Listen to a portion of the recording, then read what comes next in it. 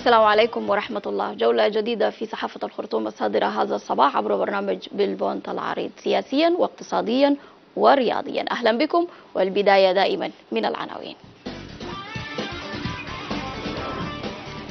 من السودان الفريق أول البرهان يصل نيويورك. والأمم المتحدة مخاوف من قدرة السودان على تلبية احتياجاتها من القمح. مستشار البرهان آن الأوان لتأسيس واقع جديد لا إفراط فيه ولا تفريط. ولقاء مرتقب بين الشيوعي والحرية والتغيير. ترتيبات احترازية لمواجهة جدري القرود ورياضيا انطلاقة الممتاز في الثاني من أكتوبر. وهلال الساحل ينتظم في معسكر مقفول بالخرطوم. الفقرة تحليلية بعد الفاصل.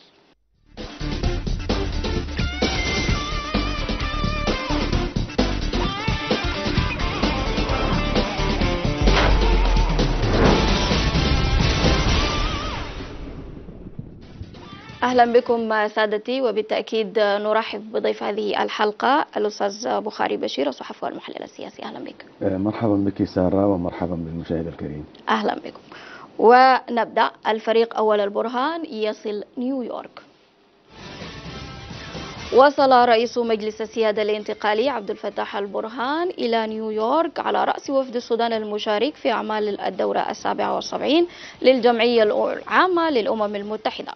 وهذه هي المشاركة الأولى للبرهان في أعمال الجمعية العامة منذ الإطاحة بنظام المخلوع عمر البشير من سدة الحكم بثورة شعبية في أبريل 19 و2000 وسبق أن شارك رئيس الوزراء المستقيل عبد الله حمدوك في قمة الأمم المتحدة في 19 و2000 وتجيء مشاركة البرهان وسط حراك قانوني واسع.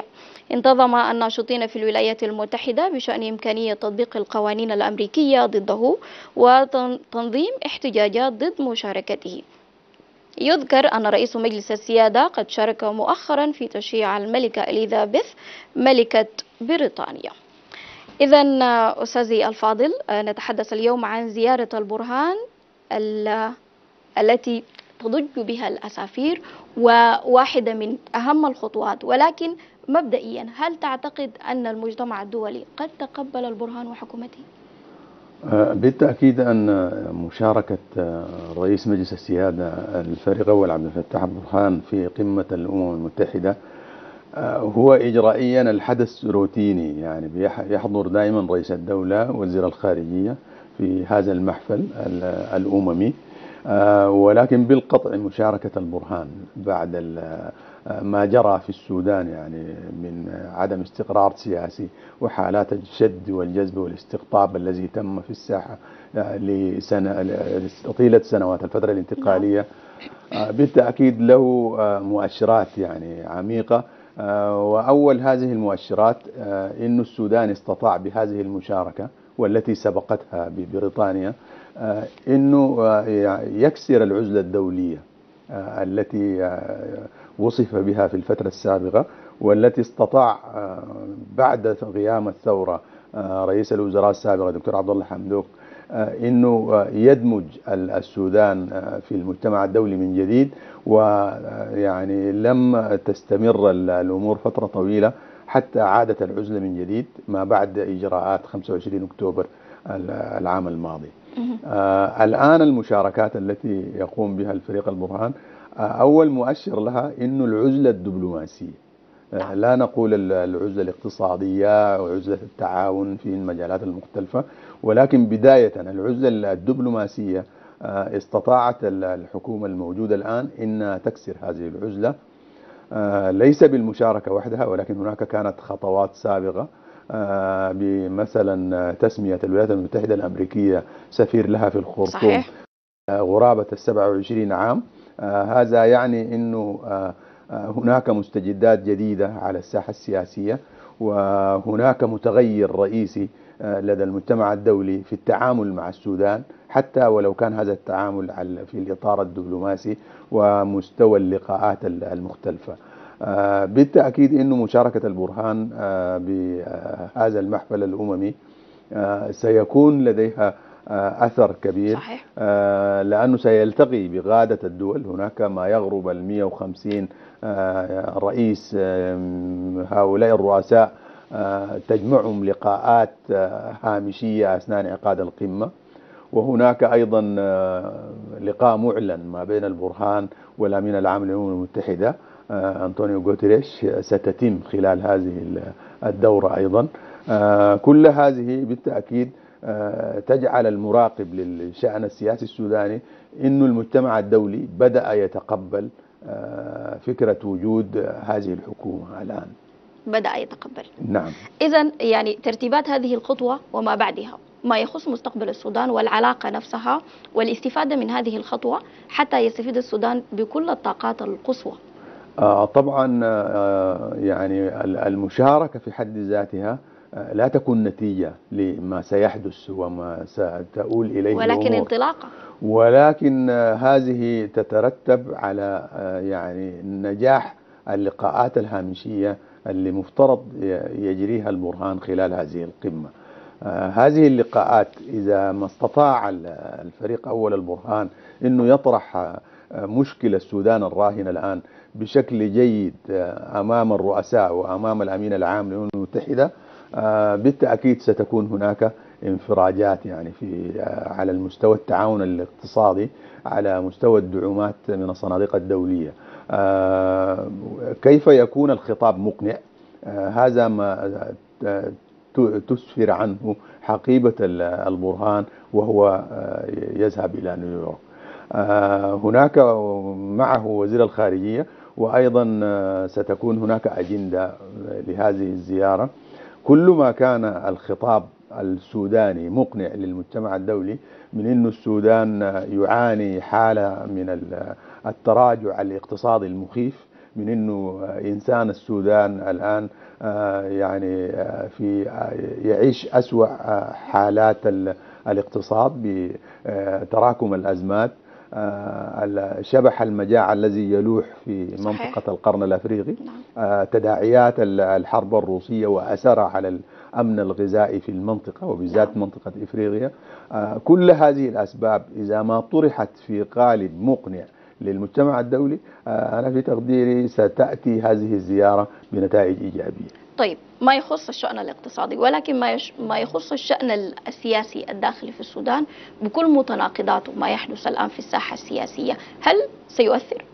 آه، بالتأكيد أن الشأن السياسي له مسار مختلف. بخلاف ال- المسار الدبلوماسي وبخلاف مسار ال- المعونات الدولية والدعومات التي تأتي من الصناديق الدولية. آه، الآن الزيارة آه، أنا في تقديري أنه هي بالأساس تخاطب الشأن الدبلوماسي. وشأن الموقف من الصناديق الدولية وشأن موقف الدول ال- ال- ال- الغربية آه، التي أوقفت دعوماتها المختلفة للسودان بمجرد إعلان إجراءات 25 أكتوبر 2021 نعم. آه، الزيارة ستخاطب هذا الملف على وجه التحديد. أما الملف السياسي آه، هو لديه مسار مختلف. هي مسارات المبادرات المختلفة التي تجري في السودان والتي يعتبر المجتمع الدولي طرف أصيل فيها. هناك مبادرة الأمم المتحدة آه، بعثة اليونيتامس وهناك مبادرة الآلية الرباعية التي من ضمنها آه، يعني آه، سفارات عربية وسفارات دول غربية هي دول كبيرة هي نعم. الولايات المتحدة نفسها وبريطانيا. هذا مسار مختلف. فيه آه، أجندات مختلفة وفيه طرح مختلف وربما استطاعت هذه المبادرات المشتركة. إذا ما استطاع السودانيون جمع هذه المبادرات في المشتركات المختلفة آه، ممكن أن نقول أنه سوف يحدث اختراق في المجال السياسي. آه، أما الزيارة الآن الخاصة بالمشاركة في جمعية العام للأمم المتحدة رقم 77 بنيويورك هي ستخاطب شأن آخر شأن الدبلوماسية شأن موقف الصناديق الدولية شأن موقف الدول آه، من دعم السودان بعد إجراءات 25 أكتوبر. بالمقابل لكن يعني الناشطين تحدثوا عن آه، قرارات قانونية تخص الشأن القانوني ضده ويبدو أن هنالك رفض قاطع لهذه الزيارة ولما بعدها أيضا. بالتأكيد أنه للناشطين دائما مواقف آه، إذا مثل هذه الزيارات آه، هم يعتبرون أن السلطة القائمة في السودان هي سلطة انقلابية وبالتأكيد سيكون لهم رد فعل خلال هذه الزيارة لأنه هي مشاركة للذي يمثل رأس الانقلاب بحسب فهمهم صحيح.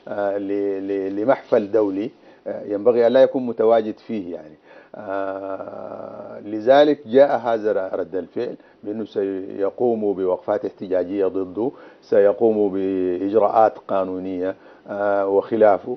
آه لكن أنا في رأيي آه هذه المسألة لن تعدو غير أن تكون ضجة على الأسافير أو ضجة إعلامية آه، ولكن على الصعيد الواقع لن يكون لها مردود حقيقي. على الصعيد الداخلي أيضا هنالك أيضا اعتراضات على هذه الزيارة. آه، ليس هناك اعتراضات كبيرة على الصعيد الداخلي. أغلب المكونات المجتمعية السودانية تنظر إلى الزيارة باعتبارها هي واحدة من الفرص الجديدة للسودان في أنه يعيد آه، عدد من المشروعات تم وقفها في الفترة الماضية. وطبعا أي مواطن يعني آه، ينظر الآن للسودان بالواقع الماثل آه، هو يعني يكون مسرور وسعيد لمثل هذه الزيارات ومثل هذه الاختراقات.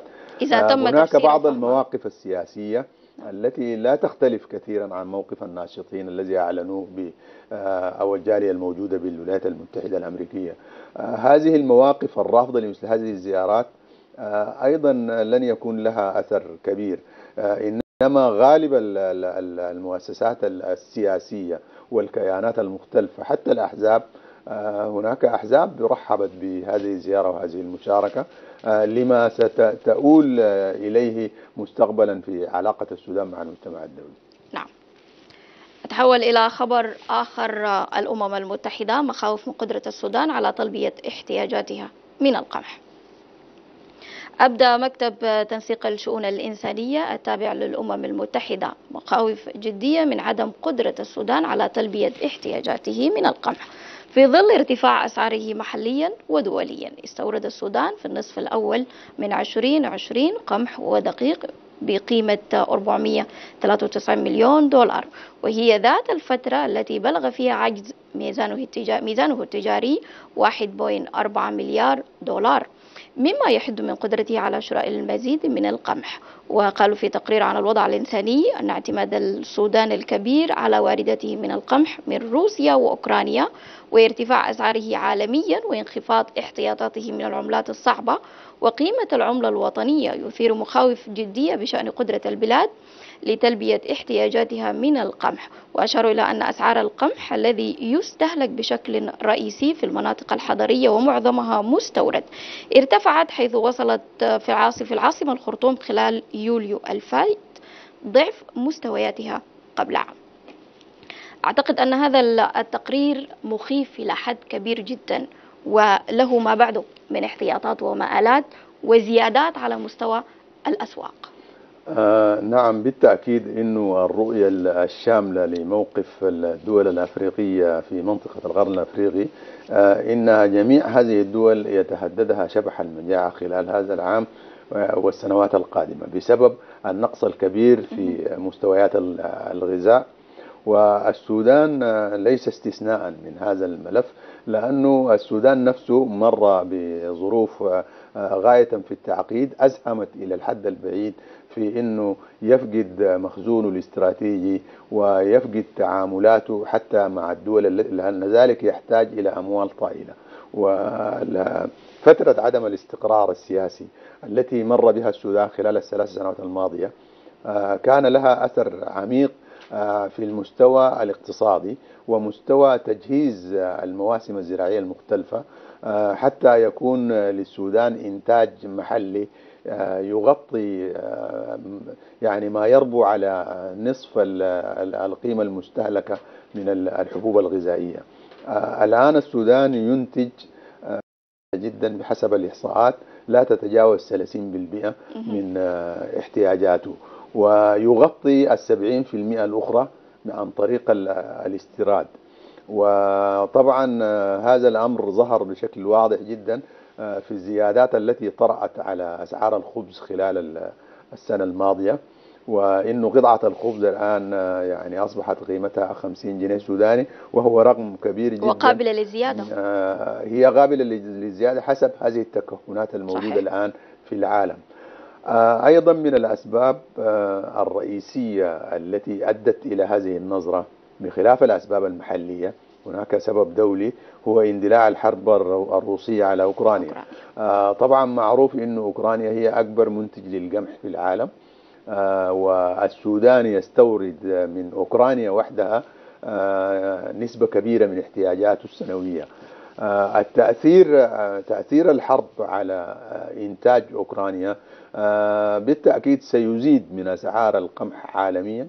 وسيقل الإنتاج العالمي وفقا لذلك ستزيد الأسعار. آه، المردود الذي يأتي على السودان هو زيادة متوقعة في أسعار ال- ال- الخبز. وهذا الحديث تحدث به كثير من الخبراء الاقتصاد- الاقتصاديين أن الفترة القادمة آه، قد تشهد زيادات آه، في مستوى القمح وتكون هناك زيادة في قيمة آه، الخبز المقدم لل- للمواطن. التقرير ال- ال- الذي جاء الآن من الأمم المتحدة هو كأنما هي إشارات لمستقبل قادم. إذا هنالك أدوار لا بد القيام بها بشكل احتياطي حتى يعني آه، يستطيع السودان ألا يدخل في هذه الدوامة من جديد؟ لأنه التقرير يقول أنه الحضر أو العاصمة تستهلك ضعف استهلاك الأطراف. إذا هذه خطوة جيدة حتى يعني نأخذ الاحتياطات اللازمة. آه، نعم هو دائما استهلاك ال- الخبز أو القمح آه، بيكون في في المدن ال- الحضرية في العواصم المختلفة. وبكون أعلى من ال- الأرياف لأنه الأرياف بتعتمد في آه، يعني خارطتها الغذائية على حبوب أخرى بخلاف. القمح. ال- السودان الوضع الآن الراهن الموجود في السودان آه، بخلاف التعقيدات السياسية التي جرت خلال آه، ما بعد الثورة. وهناك الآن هذا العام آه، الخريف والأمطار والسيول والفيضانات جعلت مساحات كبيرة جدا من الأراضي الزراعية خرجت آه، عن عن الموسم. صحيح. وهذا أيضا له أثر سالب كبير. آه، على مستوى ال- الإنتاج. ال- المطلوب الآن من الدولة ومن المراكز ال- البحثية المختلفة ومن القطاعات الاقتصادية المهتمة آه، بشأن ال- الإنتاج آه، إنه آه، تنظر إلى هذه المسائل وتعالج مسألة ال- ال- العلاقة مع صناديق ال- الدعم الدوليه المختلفة إذا كان البنك الدولي أو صندوق النقد الدولي والصناديق العربية المختلفة. ل- للقيام بتغيير آه، خارطة الإنتاج المتوقعة خلال ال- الأعوام القادمة.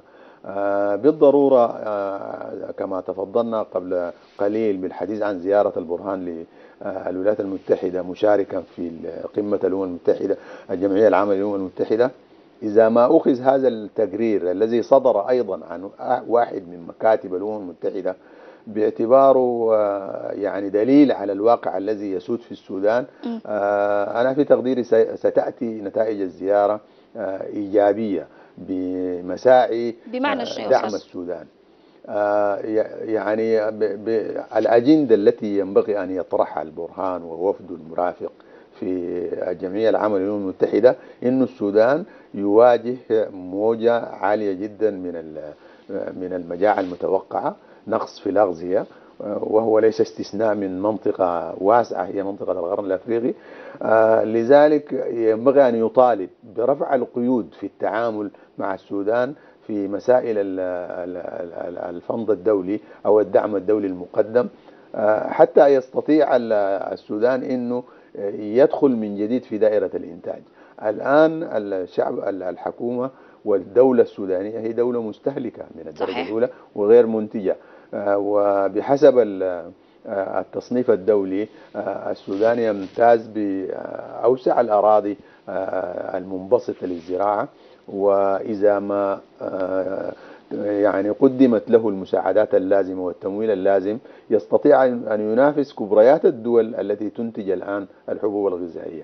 يعني لا تختلف سهول السودان من سهول أمريكا الشمالية وكندا ومن سهول آه، أوكرانيا ومن سهول استراليا. آه، من الناحية الطبيعية ومن الناحية الطبوغرافية. آه، لذلك إذا وجد الدعم اللازم لتمويل مشاريع كبيرة آه، أو حتى تأهيل المشاريع القائمة فقط آه، يستطيع أن يقدم آه، للعالم كله آه، منتوج غذائي آه، كبير يعتمد عليه ويستطيع هو كدولة أنه يخرج من دائرة الاستيراد و- وأنه يكتفي ذاتيا من الحبوب لكن. أعتقد أنه هذا الخيار هو يعني آه، طويل ال- الأمد ويحتاج إلى مدة طويلة حتى ينفذ على أرض الواقع لكن الآن ال- الإشارات وكل التقارير تقول أنه إحنا مقبلين على مرحلة آه، قد تكون قد يكون فيها إشكال حقيقي في توفير ال- القمح وبالتأكيد توفير الخبز وما شابه من أشياء. إذا على السبيل الداخلي لابد أن تكون هنالك احتياطات وخطط بديلة حتى لا آه، ندخل في دوامة لا نستطيع الخروج منها أو ننتظر تلك الحلول القادمة في زمن لا نعلم. متى يأتي؟ آه، نعم بالتأكيد أنه من المأمول أنه تكون في حلول داخلية على المستوى آه، يعني آه، متوسط المدى وقصير المدى. ولكن ال- ال- الحل ال- ال- يعني الناجع لمثل هذه القضايا هو أن تنظر إلى المشروعات القومية بخطة طويلة ال- المدى. تستطيع أن تخرج بها بشكل كامل من آه، دائرة الاستهلاك وتكون آه، شعب ودولة منتجة. آه، طبعا بالتأكيد أن القطاعات الزراعية والوزارات آه، المختلفة المعنية بهذا الشأن آه، سيكون لديها آه، رؤية آه، أولية للخروج من من هذه الأزمة. ولكن بالتأكيد الذي آه، لا نشك فيه أنه ستتأثر ال- الأسعار مستقبلا وال- طبعاً. والتعقيدات الدولية بت- يعني نتوقع زيادة ال- الخبز في الفترة ال- القادمة. والله آه، كل المؤشرات تشير إلى ذلك ولكن نتمنى أن تستطيع الدولة آه، أن تحدث اختراقات في هذا المجال وتزيد من من الإنتاج أو حتى تغطي آه، تكاليف إنتاج الحبوب من مجالات أخرى. طبعا المجال الاقتصادي السوداني مجال واسع هناك جوا- جانب المعادن هناك جانب النفط هناك جوانب كثيرة آه، بخلاف جانب الزراعة. أيضا الزراعة نفسها تستطيع أنه أنت تدخل مساحات جديدة للزراعة وممكن آه، عن طريق هذه الإجراءات أنه أنت آه، تمنع زيادة الأسعار أو على الأقل تقللها إلى أقل الاحتمالات. المعتاد إنه زيادة في أي سلعة من من السلع الاستهلاكية المتداول على ايدي المواطن. تكون هنالك أيضا زيادة كبيرة في عدد من ال- ال- السلع الأخرى. بشكل مباشر أو غير مباشر يتضرر المواطن على كل المستويات المختلفة. احتياطيا على سبيل الفرد وعلى سبيل نعم. الدولة لابد أن تكون هناك خطط. آه، نعم هو دائما الانهيار الاقتصادي آه، يأتي وتتأثر به كل ال- القطاعات أو كل الأطراف. ال- التضخم الذي جرى في السودان والتراجع الكبير الذي حدث للجنيه السوداني آه، مقابلة مع العملات الأخرى آه، هو كان له أثر سالب حتى على مستوى معيشة الفرد. والآن ال- المواطن السوداني بحسب التصنيف الدولي هو يعني في مرحلة تصنف بأنها مرحلة الفقر يعني. نعم. أو ما دون مرحلة الفقر. ده بحسب يعني الدخل الدخل الفرد خلال العام. بالتأكيد أنه هذا أثر على مختلف الصعد إذا حدث يعني أي تراجع في قيمة الجنيه وحدث تضخم بالتأكيد الزيادة يعني سترجع أو ستعود لكافة السلع حتى السلع الضرورية وحتى ال- ال- الكمالية وغيره والآن ال- القطاع الاقتصادي في الدولة آه، لم يقدم رؤية آه، جيدة آه، يستطيع من خلالها أنه يكبح جماح هذا التضخم ويعني يسهم بقدر قليل في رفع المعاناة عن كاهل المواطنين. في المستلزمات اليومية الآن التكاليف للحياة أصبحت عالية جدا آه، لدرجة أنه جعلت البلد نفسها طاردة وهناك العديد من الأسر السودانية خرجت آه، صح. يعني جراء هذه التعقيدات الاقتصادية ومصر هذه بها آه، ملايين السودانيين صح. يقيمون فيها ومستويات المعيشة فيها تختلف عن مستويات المعيشة في السودان إذا كانت الحلول بالنسبة للمواطن هي الخروج من من البلد أو من الدولة. لكن على السبيل المحلي هنالك أيضا متوقع أن تزيد تزداد نسبة عالية في ظل تردي الأوضاع الاقتصادية والسياسية والاجتماعية وكل الشاكلة المعيشية بالنسبة للمواطن. على ذات ال- السياق هنالك أيضا احترازات لا بد أن تقوم بها الدولة. حتى تمنع هذا السخط حتى لا نصل إلى مرحلة حيث لا عودة منها. نعم هو دائما ال- السخط الاقتصادي أو ما يقال عليه يعني في ال- المصطلحات بأنه ثورة الجياع. ثورة الجياع. آه، هذا تصل المجتمعات في حالة الوصول إلى حالة العدم الكامل يعني. آه، طبعا آه، ليس في يد المواطن الآن آه، يعني ليس الحل في أنه أنت تغادر البلد يعني لتعيش في دولة أخرى. هذا الخيار فقط للميسرين الذين يستطيعون القيام بواجبات السفر واستحقاقاته المالية وخلافه وما يحتاجه يعني. أما غالب المواطنين لا يستطيعون أن يفعلوا هذا الأمر وبالتأكيد ولا يستطيعون العيش أيضا. سيظلوا موجودين وسيظلوا يعانوا آه، معاناة كبيرة. آه، لذلك على السلطة القائمة إنها تنظر لهذا الأمر ب آه، يعني عين فاحصة. والشأن الاقتصادي السوداني يحتاج لأن تقوم مراكز البحوث والدراسات بعمل بحوث دقيقة جدا لإخراج السودان من هذه من عنق الزجاجة في هذه المسألة على وجه التحديد. وتقديم مطروحات اقتصادية مناسبة نعم للفترة خاصة أن السودان يملك كل المقومات. فما الذي يجعل ال- السودان يعيش في هذه الوضعية ال- ال- الغريبة يعني؟ آه هذا يحتاج إلى إجابة من خبراء الاقتصاد يحتاج إلى إجابة من الوزارات المعنية بالاقتصاد. لماذا نحن نمتلك كل الموارد ون- ونظل المصنفين بأننا الأسوأ أو الأفقر عالميا؟ نعم نعم. والآن خروج عدد كبير جدا من المزارعين من من الموسم اعتبارا لكل ما حدث من كوارث طبيعية وليست هنالك أي حلول أو معالجات لما يخص هذا الشأن على مستوى الأفراد وعلى مستوى الاقتصاد أيضا. سيحدث ضرر واضح جدا. آه، بالتأكيد أن المساحات الكبيرة التي غمرتها مياه الفيضان وسيول الأمطار خرجت عن الموسم هذا العام وستكون لها تأثيرات سالبة في الفترة القادمة. آه، السودان الآن يستطيع آه، من خلال المشروعات القائمة نفسها بقليل من التأهيل لهذه المشروعات يستطيع أن يخرج من هذه الأزمات ولكن دائما المشكلة في العقلية التي تفكر للسودان صحيح يعني مثلا مشروع الجزيرة هو من هو أضخم مزرعة منبسطة على وجه العالم. لا, لا, لا توجد آه، لا يوجد لها مثيل في أي دولة ولكن هذا المشروع آه، تعرض لانهيار تدمير. وتدمير ممنهج خلال سنوات متطاولة م. ولم يأتي إلى الآن شخص آه، ينوي تقديم أطروحة اقتصادية تصلح وتحسن من شأن مشروع الجزيرة. يمتد التواصل بيننا وبينكم سادتي الأعزاء في هذه المساحة من البونت العريض ولكن فاصل قصير ومن بعد نعود من جديد. أهلا بكم من جديد. آه، من الانتباه مستشار البرهان آن الأوان لتأسيس واقع جديد لا إفراط فيه ولا تفريط.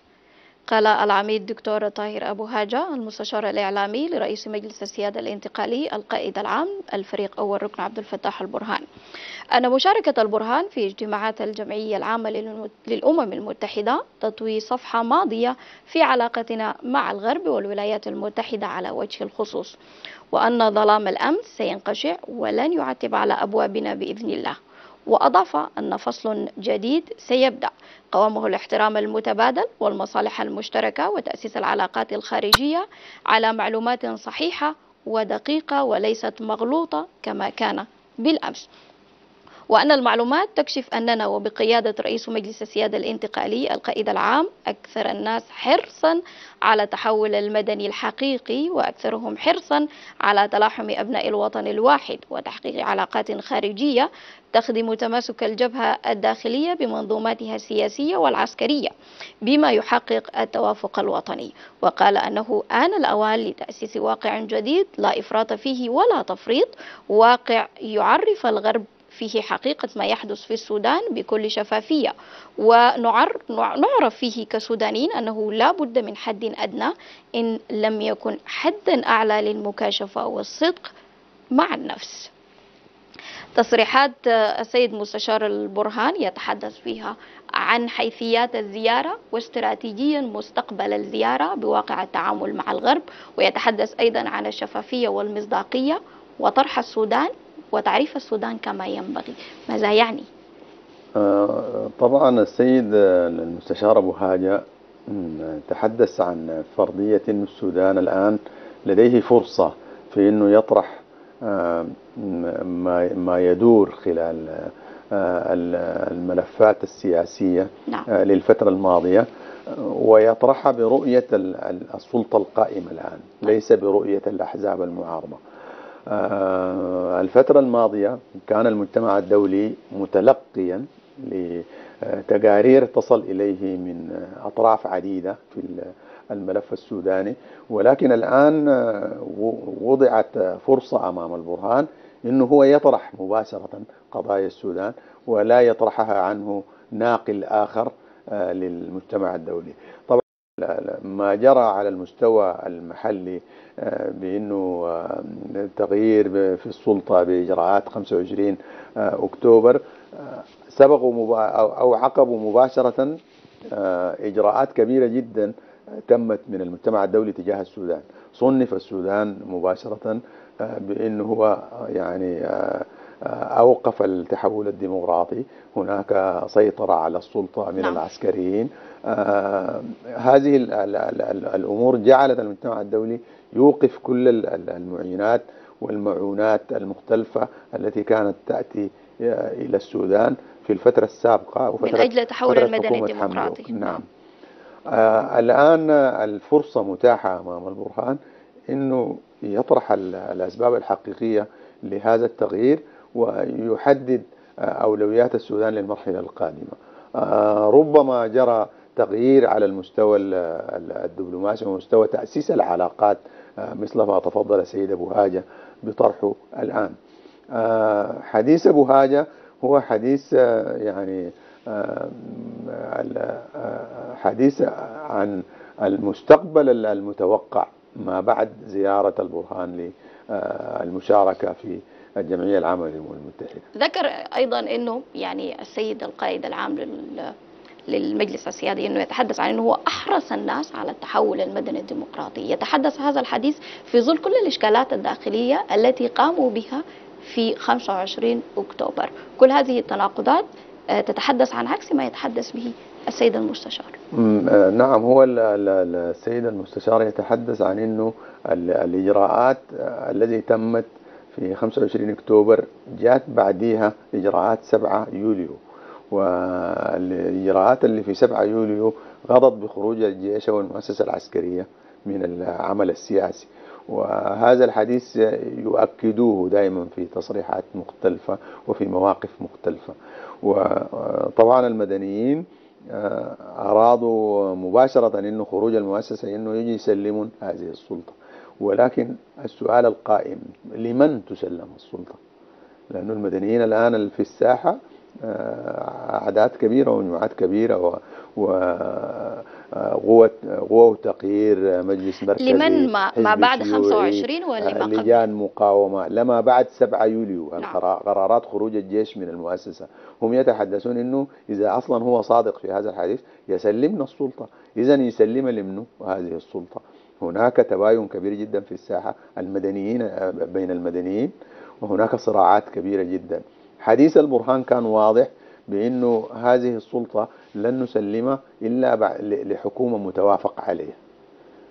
إذا طلب من المدنيين أنهم هم يقوموا بهذا التوافق خلق هذا التوافق. جراء تفاعل عدد من المبادرات المطروحة الآن. طبعا أي مبادرة الآن في الساحة إذا هي قالت أنا بمثل التوافق آه، يكونوا كاذبين طبعا لأنه ما في مبادرة واحدة عليها إجماع حتى الآن. فإذا المؤسسة العسكرية تعتبر نفسها إنها هي الآن مثل الذي يمتلك أمانة ويريد أن يسلم هذه الأمانة لمستحقيها. فاذا لا يمكن إنه أنت مؤتمن على شيء إنك تتركه هكذا وتذهب يعني تقول أنا ما عندي به علاقه يعني. ولكن بأي حال من الأحوال بغض النظر عن المسمى والتعريف لما حدث في 25 أكتوبر قطع الطريق على كل المبادرات وعلى كل الاتجاهات من أجل التوافق. الآن البداية كانت ما بعد 25 أكتوبر حتى تأتي حكومة أو يأتي مدنيين أو يأتي إجماع يجمع عليه الشعب السوداني أن هذه هي الحكومة المرتقبة. زائد أن هنالك كانت هنالك اتفاق على وثيقة دستورية تنص على أن هنالك مدة محددة يتم بعدها تسليم السلطة لمن يستحق. كل آه، هذه الأشياء ذهبت نعم كلها لم تحدث لأن الفترة الانتقالية مرت بتعقيدات كبيرة جدا. يعني حتى الوثيقة الدستورية التي حكمت الفترة الأولى فيها العديد من النواقص والمثالب وتحدث عنها عدد من السياسيين بأنها لم يعني تمثل القبول الكبير ما بين المكونات المختلفة. لكن كان التوافق عليها متاح وموجود نعم التوافق عليها في حدود حتى يعني سيطرت مجموعة محددة على الفترة الانتقالية. وممارسة سياسات قمعية كبيرة جدا خلال الفترة الماضية. هو الذي أثر في على كافة المجموعات السياسية الموجودة. نعم. طبعا لا يمكن أنك أنت تذهب نظام دكتاتوري وشمولي ومتسلط لتأتي بنظام دكتاتوري وشمولي مسلط يعني لا يمكن. أكيد ستواجه بمزيد من من الرفض بمزيد من المعارضة. المطلوب ما بعد 25 أكتوبر إنه تشارك كل الأطراف، توسيع قاعدة المشاركة، لا تكون محصورة في مجموعة محددة فيما قبل 25 أكتوبر. طبعا القرارات جاءت لهذا الهدف، وهذا الهدف حتى الآن هناك بعض الكيانات والجهات لا زالت تمارس مسائل الإقصاء في العمل السياسي والسودان بالتحديد أو السودانيين على وجه التحديد إذا أرادوا التعافي السياسي لا بد من التسامح من درجة من التسامح السياسي ولا بد من درجة من المشتركات تجمع مع الناس. من؟ تسامح مع من؟ السياسيين فيما بينهم. يجب أن يقبلوا كل طرف يقبل بالآخر. يعني قبول مبدأ قبول الآخر هو واحد من درجات الحريات. يعني إذا أنت تؤمن بالحريات وتؤمن بالتحول الديمقراطي وتمنح أي زول يمارس حقه إذا لابد أن تحترف بهذا الآخر. الآن الساحة السياسية بها خلافات كبيرة وخلافات عميقة يعني مفضية إلى العداء وليس إلى التسامح. طيب إذا إذا استطعنا قراءة الواقع ابتداء من اجتماعات التفاوض الأولى التي تنص على الاتفاقات الأولى ما بعد السقوط وابتداء بالمرحلة المحددة نعم. إلى الآن هنالك إشكالات كبيرة جدا لم يتم معالجتها خلال الفترة الزمنية الطويلة كل هذه الإشكالات بما فيها كيان الشارع الموجود الآن الذي يرفع شعارات لا شراكة لا شرعية نعم. لا تفاوض فيها الآن كل هذه الدوائر من من الاحتمالات والشراكات وحتى الأطروحات وصلت إلى حد اللا عودة واللا رجوع. إذا خيار البرهان في أنه التوافق السياسي حتى يتم, يتم تسليمه من بعض السلطة أصبح شبه مستحيل. إذا ما هي الحلول البديلة؟ طبعا هو الآن التوافق لم يوصد الباب أمام التوافق بشكل كامل. لا زالت هناك مبادرات مطروحة في الساحة وحتى بالأمس القريب أعلنت عن مبادرة جديدة هي مبادرة الشيخ الجعلي يعني هذه المبادرات لا بد أن يكون لها قواسم مشتركة تجمع الناس. طبعا كل الكيانات الموجودة في هذا السودان تجمعهم هذه الأرض أرض السودان ويجمعهم تاريخ السودان ويجمعهم مستقبل السودان طيب. وهذا التعايش المجتمعي السوداني. إذا لم تكن هناك مشتركات تجمع هذه الأطراف بالتأكيد ستظل مسائل التناحر وستؤدي ذلك إلى فوضى كبيرة جدا وربما إلى اندلاع حروب أهلية وغيره. الآن عقلاء الساحة السياسية يتحدثون عن المشتركات.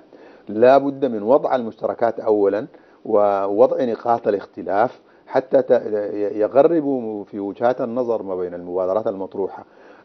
أما أن تفرض جهة بعينها أجندتها لتستلم السلطة في في ظل هذا الوجود الديمقراطي أو الفترة الانتقالية هو أمر غير مقبول. يعني الفترة الانتقالية يجب أن لا تسيطر عليها جهة محددة مهما أوتيت يعني. فلا بد من المشتركات التي تجمع كل الأطراف. نعم. وهذا هو المأمول الذي ينتظره البرهان وغيره. البرهان منذ إجراءات 25 أكتوبر إذا أراد أن يعلن حكومة لا أعلنها في ذلك الوقت. هو حتى اليوم لم يستطع أن يعلن حكومة. والسبب الرئيسي في انعدام هذا التوافق. نعم. طيب. حالة, حالة الفراغ السياسي وعدم وجود خطاب سياسي موحد وخطاب سياسي يخاطب به كيانات الشعب السوداني واحتياجاته.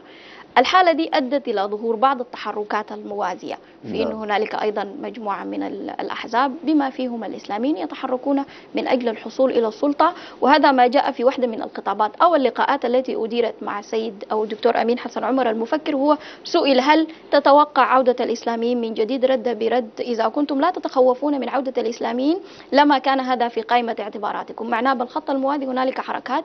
آه، تريد ال- ال- الوصول للسلطة من جديد. فهل نعود إلى ذات المربع الأول من جديد؟ نعم يعني ال- الحديث عن الإسلاميين هو حديث كث- كثيف في الفترة الماضية. وطبعا هم مواطنين سودانيين يعني بالتأكيد. وبالتأكيد أن حزب المؤتمر الوطني المحلول لديه عضوية في ذلك الوقت كان يتحدثون عنها بالملايين.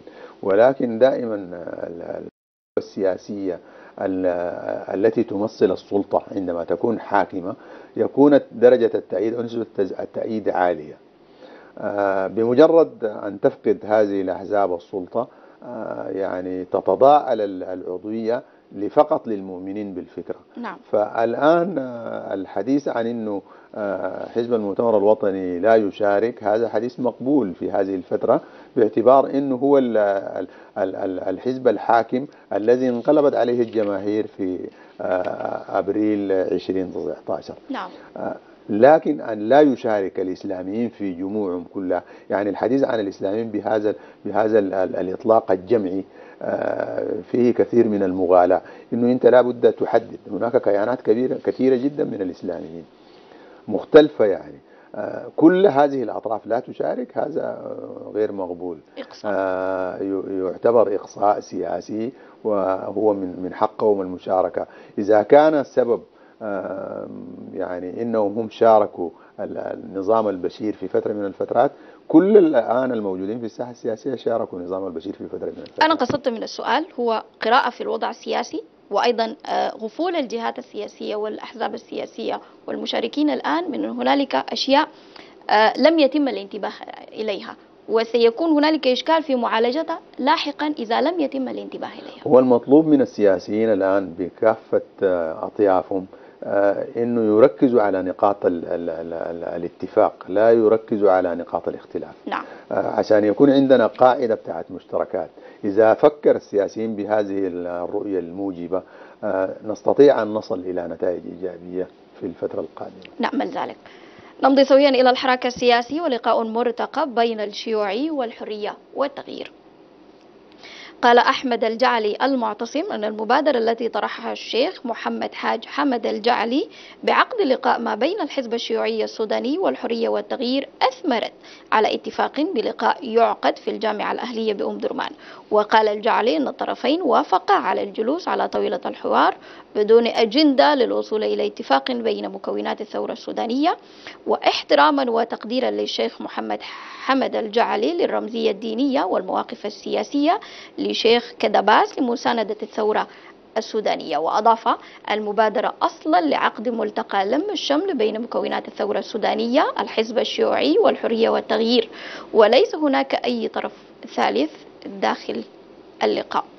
إذا هي مبادرة جديدة يخص بها الجلوس مع الحزب الشيوعي والحرية والتغيير وسمي بأن هذه هي آه، كيانات ومكونات الثورة السودانية التي آه، تتمثل في طرفين الشيوعي والحرية والتغيير. ما رأيك في هذه المبادرة؟ وهل ستنجح؟ آه، طبعا هي كثرة المبادرات آه، يعني هي واحد من أسباب إضعاف الاتفاق أو الوصول إلى توافق. نعم. ولكن أيضا لكثرة المبادرات أو لوجود مبادرات مختلفة آه، أيضا دور إيجابي في الساحة السياسية. لأنها هي تحرك راكب الساحة السياسية وتجعل من آه، أطراف عديدة آه، كانت غير مشاركة تقبل بهذه الحركة وبالمشاركة وبإبداء رأيها آه، المحدد أو المعروف. كلما كثرت المبادرات كلما كان الطرح المقدم كبير. نعم. آه، وأنا في تقديري أنه ينبغي أن تكون هناك آليات أو جسم محدد ينظر في كل هذه المبادرات ويجمع نقاط ال- ال- الاتفاق. آه، طبعا المبادرة الجديدة التي أطلقت من الشيخ الجعلي آه، هي آه، يمكن الجديد فيها مشاركة الحزب الشيوعي. الحزب الشيوعي في الفترة الماضية كان يعني فاعل في الساحة السياسية ولكنه كان رافض لكل المشاركات في المبادرات التي قدمت وطرحت حتى بما فيها المبادرات الدولية. الآن دخوله في مبادرة الشيخ الجعلي يوسع من دائرة المشاركة بين القطاعات السياسية ويجعل أن هناك فرصة ليسمع الناس رأي الشيوعيين. يعني الآن هناك حديث عن الشيوعيين هم الذين يحركون الشارع هم الذين يسيطرون على لجان المقاومة هم الذين يقبضون على تجمع المهنيين. يعني كثير من الأقاويل تتم الآن ووجود هذه المبادرة بمشاركة الشيوعي تجعل أمام الناس فرصة آه، إنه يستمعوا إلى رأي الحزب الشيوعي مباشرة في الأزمة السودانية وفي التعقيدات الماثلة الآن. هم مبدئيا تم التوافق على الجلوس ولكن الجلوس دون أجندة. آه، طبعا هو مبدأ الجلوس في حد ذاته عند الموافقة عليه آه، هو خطوة إلى الأمام، ما بعد الجلوس تأتي الأجندة وتأتي الأفكار ويأتي الحوار يعني لكن أن ترفض جملة الجلوس آه، فهذا يعني آه، إنها معادلة سفرية آه، مثل التي يطلقها لجان المقاومة لا تفاوض لا شراكة لا يعني إذا ما الذي تريد أن تفعله؟ وأنت قد أغلقت كل الأبواب. طيب كي تنجح هذه المبادرة ما الذي لابد أن يحدث؟ هو أنا كما أسلفت ليست هناك مبادرة ستنجح على على يعني وجه يعني تكون واحدة يعني لا يمكن. هذه المبادرات يجب منا جميعا نخرج نخرج مشتركات محددة يتفق عليها الناس. لكن ما في مبادرة الآن في الساحة يوجد حول اجماع كامل. نعم. كل مبادرة لديها معارضين ولديها مؤيدين. نعم. فاذا الحديث عن إنه مبادرة واحدة ستنجح هو مخالف للوقائع يعني. إلى أخبار اليوم ترتيبات احترازية لمواجهة جدري القرود أعلنت السلطات الصحية عن إجراءات وترتيبات احترازية لمنع انتشار مرض جدري القرود وقال مدير الإدارة العامة للطوارئ ومكافحة الأوبئة بالصحة محمد التجاني بحسب تعميم صحفي جاء الأربعاء أنهم في قمة الجاهزية عبر فرق الاستجابة والكوادر الطبية المدربة بالمستشفيات الحكومية. إضافة إلى وجود ترتيبات بمطار الخرطوم بتحويل أي حالة اشتباه قادمة عبر المطار إلى مستشفى إبراهيم مالك التي جهزت جهزت فيها الوزارة غرفة لعزل الحالات والاتجاه لتوزيع نشرات صحية لكافة الوحدات الصحية بالولاية. وأضاف تلقينا حالتي اشتباه إحداهما لطفل بإحدى مستشفيات الأطفال. والثانية من داخل المجتمع عبر ال call center. وتحرك ال team لأخذ العينات ونتيجة الفحص ستعرف خلال 48 ساعة وتابعة. الحالة الأولى للمرض بالولاية في وضع صحي مستقر بالعزل المنزلي في محلية شرق النيل. بعد أن ظهرت عبر نظام الترصد المرضي بمستشفى Royal Care وبعد أن تم أخذ العينة لمعمل إستاك بواسطة أتيام الاستجابة جاءت النتيجة موجبة. إذا شبح جدري القرود الآن يسيطر على الساحة ونحن لنا تجربة مع الكورونا في الوضع الصحي والجاهزية وكيفية التعامل مع الكوارث الصحية آه، طبعا القطاع الصحي آه، برغم قلة المعينات آه، ولكنه يعني على مستوى مكافحة الوبائيات المختلفة ظل يقدم جهودا كبيرة يعني نعم. وخاصة فترة الكورونا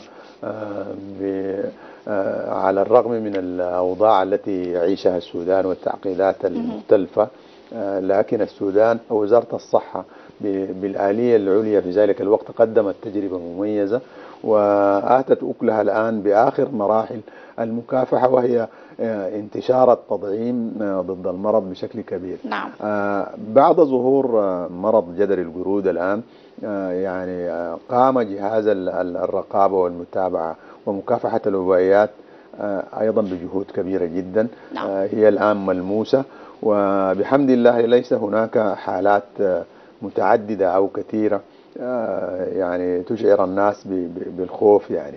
آه، الحالات المحددة هي حالات محدودة جدا ومحصورة جدا وهي الآن آه، تحت السيطرة الكاملة.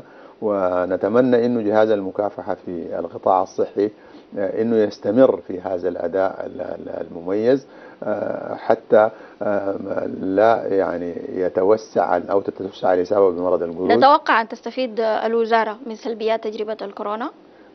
هي الكورونا لديها سلبيات ولكن كما قلت لك إنه جهاز مكافحة الوبيات يعمل في ظروف معقدة وفي ظل إمكانيات شحيحة. والآن الذي يقدموه هو يعني أمر حميد وأمر جيد.